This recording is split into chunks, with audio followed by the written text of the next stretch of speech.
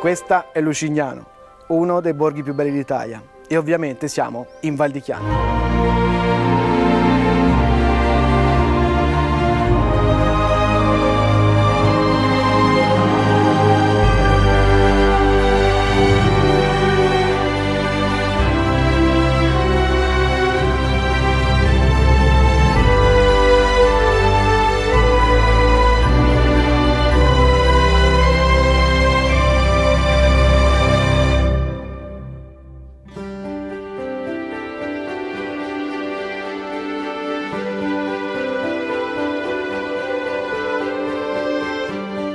Origine etrusca, Lucignano ebbe il suo splendore nel Medioevo, nel contesto delle lotte tra le città della zona come Firenze, Arezzo, Siena e Perugia.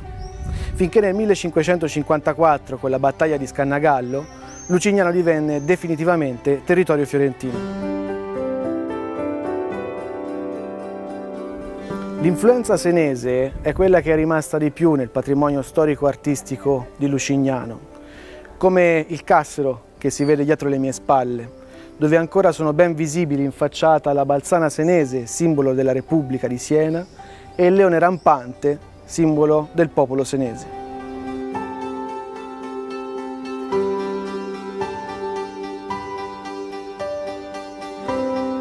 L'area sommitale di Lucignano, piazza del Tribunale, è il luogo dove nel passato, come nel presente, veniva esercitato il potere civico.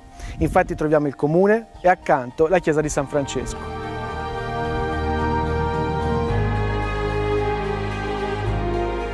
Siamo all'interno del palazzo comunale di Lucignano e qui ha sede il museo di Lucignano.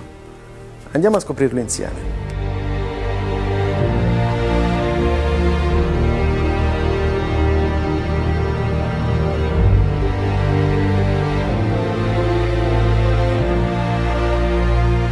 All'interno della prima sala troviamo alcune tavole di artisti senesi, attivi prevalentemente nel XIV secolo.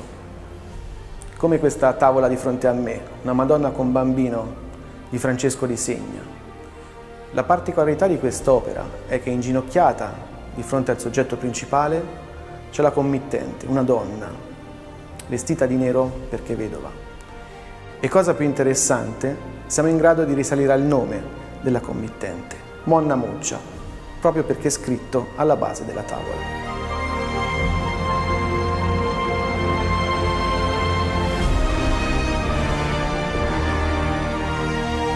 Camminando nelle stanze del museo, tra le varie opere che incontriamo, sicuramente degne di nota sono le due tavole attribuite a Luca Signorelli. Una rappresenta il San Francesco che riceve le stimmate e l'altra una Madonna con bambino.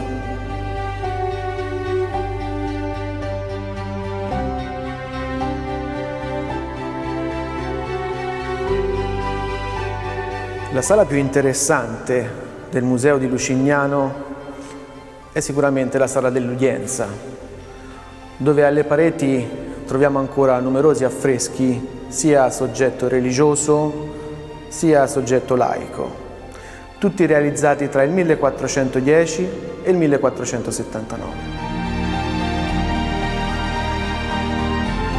Il nome della sala ci fa capire che qui, proprio di fronte all'immagine sacra, avvenissero le sentenze del tribunale. A riguardo è molto interessante il cartiglio che tiene tra le mani un angelo. La frase dice parla poco, odia assai, guarda il fine di ciò che fai. Ma il protagonista principale della stanza è senza dubbio l'albero di Lucignano o albero dell'amore. È un esempio raro di reliquiario a forma d'albero, realizzato tra il 1350 e il 1471. Le sue decorazioni con smalti, cristalli di rocca, coralli e miniature lo rendono di raro pregio una grande base sorregge il tempietto gotico sul quale si innesta l'albero vero e proprio, formato da 12 rami, 6 per parte, decorate con foglie di vite, piccole teche e medaglioni, su cui sono incastonati rametti di corallo.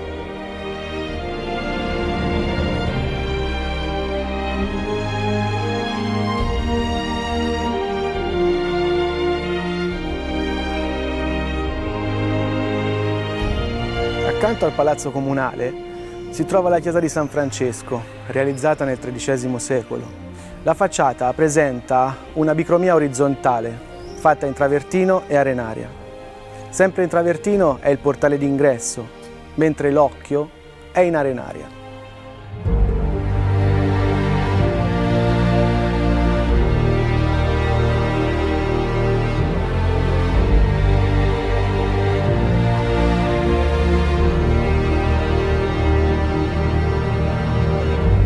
All'interno della chiesa, sull'altare principale, troviamo un polittico di Luca di Tommè, un artista senese attivo nel XIV secolo. Il soggetto è una Madonna in trono con bambino e lateralmente vediamo una teoria di santi. Alle pareti della chiesa sono numerosi gli affreschi che si possono trovare, prevalentemente attribuiti agli artisti Taddeo di Bartolo e Bartolo di Fredi. Su tutti sicuramente spicca il trionfo della morte. L'affresco risale al XIV secolo ed è stato realizzato probabilmente dalla scuola di Bartolo di Fredi. In alto a sinistra è raffigurato il Cristo che ammonisce l'osservatore e lo invita a meditare sul dramma che si sta svolgendo davanti ai suoi occhi. O tu che leggi, pon cura ai colpi di costei, che uccise me, che son signor di lei. Più in basso, sulla sinistra, sono visibili quattro figure di anziani e indigenti, nei loro abiti dismessi, che desiderano la morte.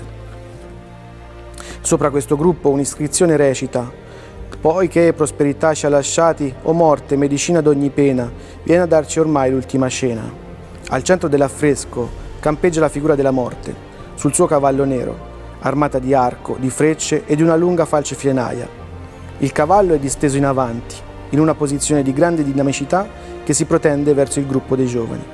La criniera al vento e la bocca aperta danno forza a questa immagine, che viene accentuata dal movimento dei capelli della morte, che volge le spalle agli anziani che la bramano, mentre è in procinto di scagliare una freccia contro i giovani.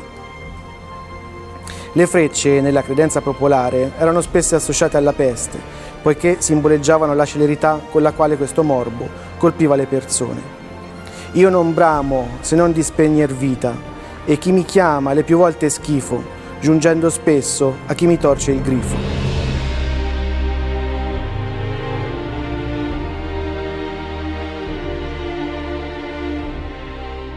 E ora che lo sai, vieni anche tu in Val di Chiano.